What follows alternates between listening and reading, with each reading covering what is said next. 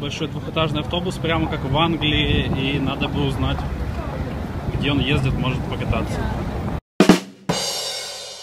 Я сел в этот автобус, и сейчас мы тронемся и будем ехать по всему Кракову. Здесь э, нам выдали наушнички, где будут рассказывать, уже что-то говорят о том, типа, где мы едем, что за историческое место. Ну, в общем, очень круто.